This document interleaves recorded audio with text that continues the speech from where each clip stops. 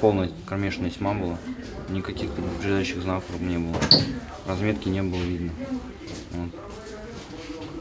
Он выскочил с правой стороны автомобиля. Я даже не успел не заметить его, не увидеть никаким образом. Не увидел, тень мелькнула, а почувствовал удар.